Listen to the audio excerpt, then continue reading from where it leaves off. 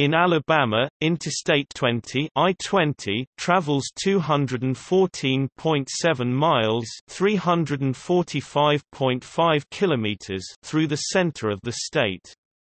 It enters the state from Mississippi near Cuba, and travels northeastward through Tuscaloosa and Birmingham. At Birmingham, I-20 turns eastward and heads through Oxford before crossing the Georgia state line near Lebanon. Other cities on the route include Livingston, Bessemer, and Pell City. For approximately 130 mile 210 kilometers, more than half its distance, I-20 is concurrent with I-59 from the Mississippi state line to eastern Birmingham near Birmingham Shuttlesworth International Airport. Mileage and exits on the concurrency are I-59s, although both highways have the same mileage for the Alabama concurrency.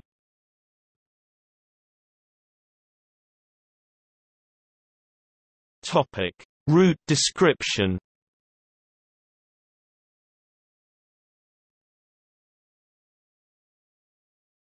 Topic: Western Alabama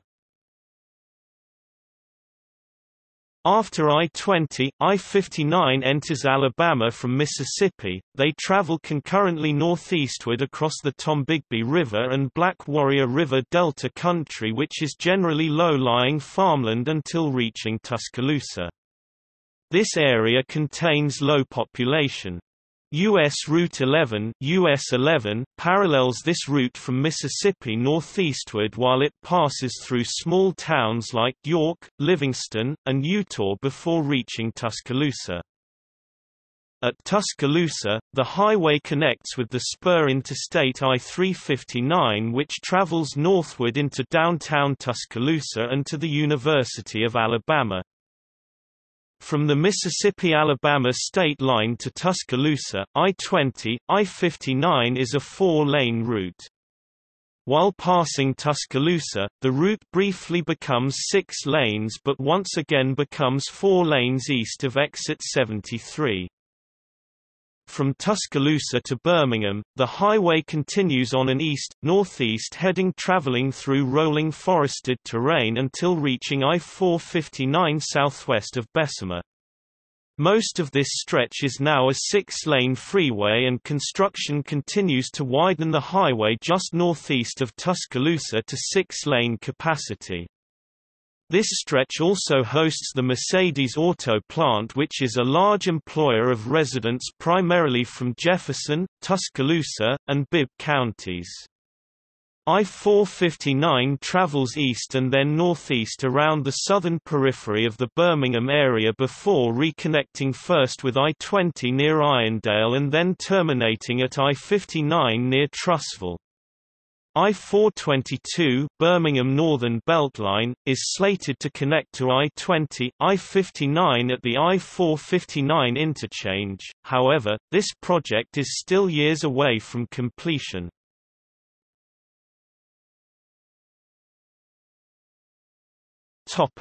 Birmingham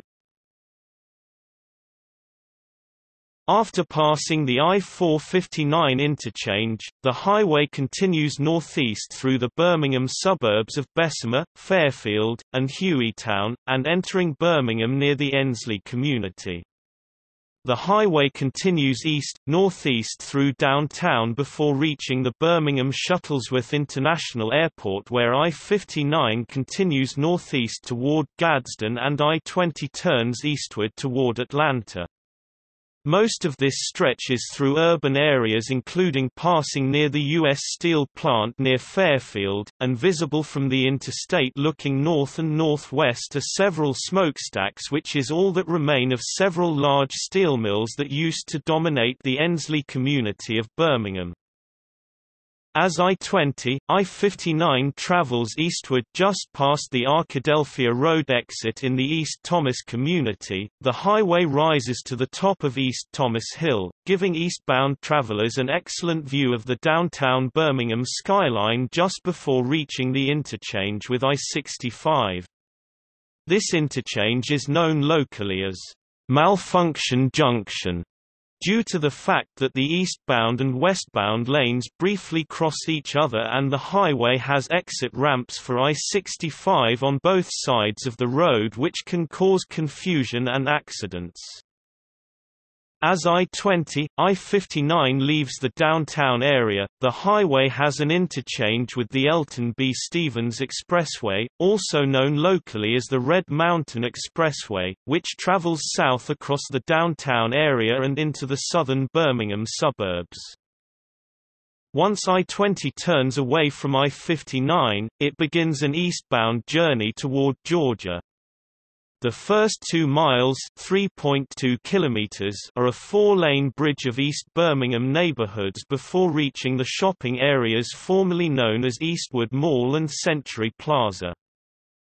I-20 is a six-lane freeway from exit 132 to exit 162.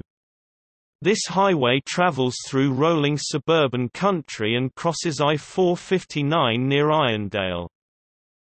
As of 2017, preparation is underway to temporarily close I-20, I-59 east of I-65 in order to rebuild the overpass between 17th Street and US 31, US 280. The current bridge was completed when this segment of the highway opened in 1973. It is expected that this segment of the highway will close in the fall of 2018.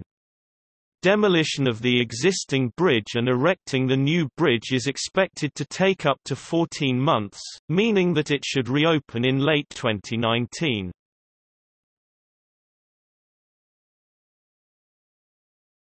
Topic: Bloody 20 The section of I-20 between Leeds and Pell City is one of the most dangerous stretches of interstate highway in Alabama. The terrain is significantly hilly as the route passing across the northeast to southwest ridges of the Appalachian Mountains. There are two significant uphill grades in each direction which slows down truck traffic. However, due to the heavy volume of truck traffic combined with speeding car traffic, accidents are frequent and sometimes deadly. This part of I-20 is sometimes called Bloody 20. Between 2010 and 2014 work was completed to add additional lanes in each direction along I-20.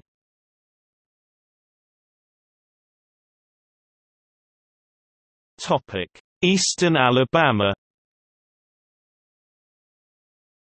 East of mile marker 155, the highway once again becomes six lanes until reaching the Coosa River Bridge near Riverside.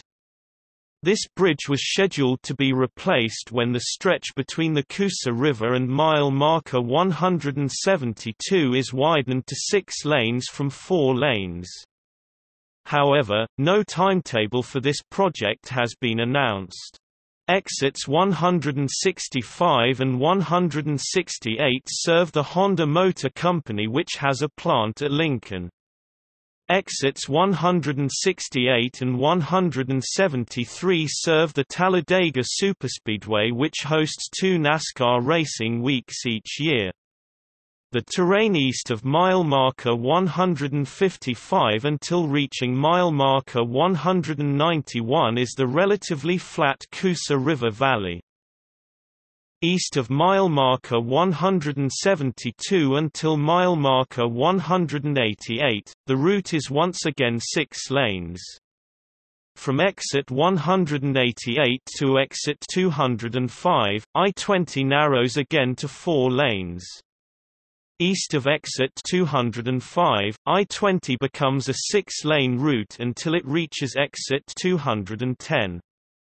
However, in this area, construction is ongoing to widen the last five miles to six lanes to the Georgia state line. I-20 dives into Oxford from the west into its interchange with Alabama State Route 21. Here, you can see Quintard Mall and some of the highest mountains in Alabama, including Cheaha Mountain. The Anniston-Oxford metropolitan area is served by exits 179, 185, 188, and 191. Just east of exit 191 is a significant uphill, downhill grade uphill eastbound, downhill westbound approximately 2 miles 3.2 kilometers long. Truck traffic is significantly slowed by this hill, causing occasional traffic backups. East of this incline, the route travels through generally rural forested rolling country until the Georgia state line, continuing roughly 50 miles to Atlanta. This stretch of interstate contains multiple Parclo interchanges. East of Birmingham, US 78 serves as the parallel US highway.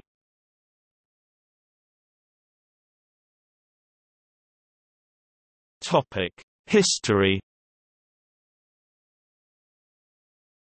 The completion of I-20 in Alabama was done in numerous stages. Few segments were completed in such a way that they had interchanges with existing segments.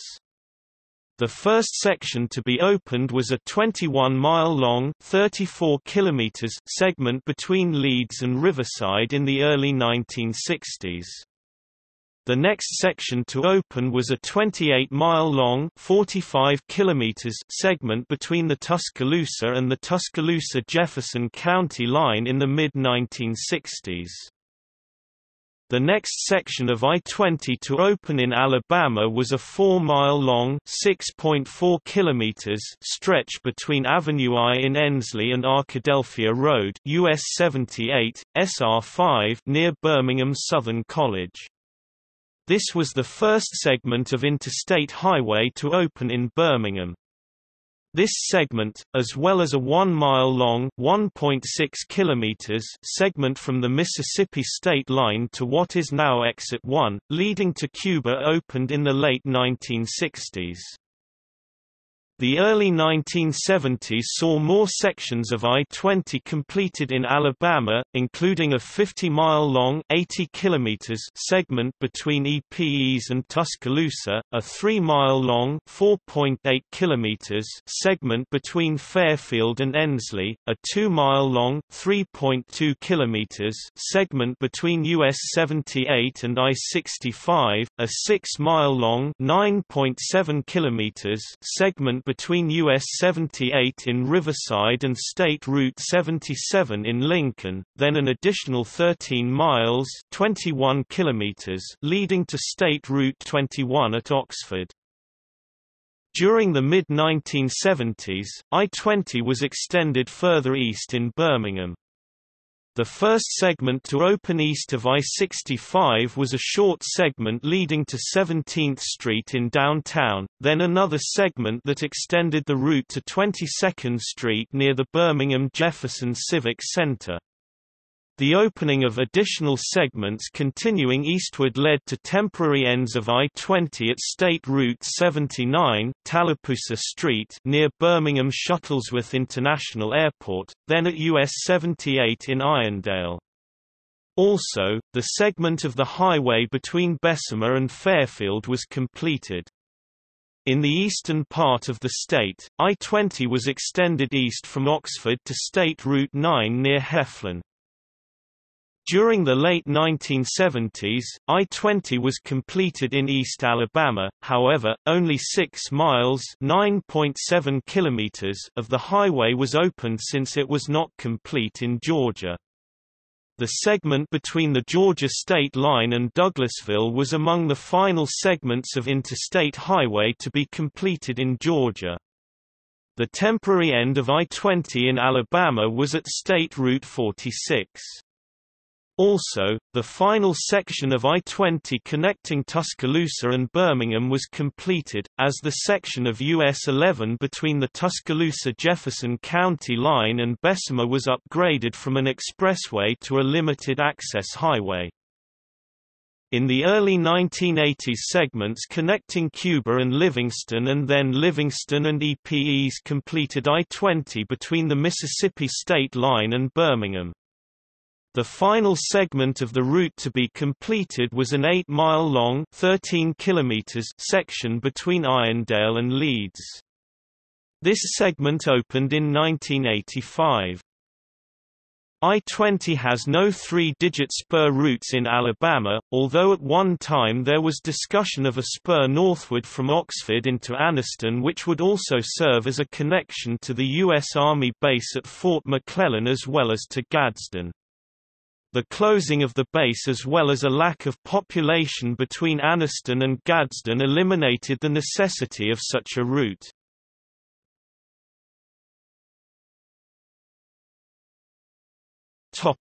Exit list.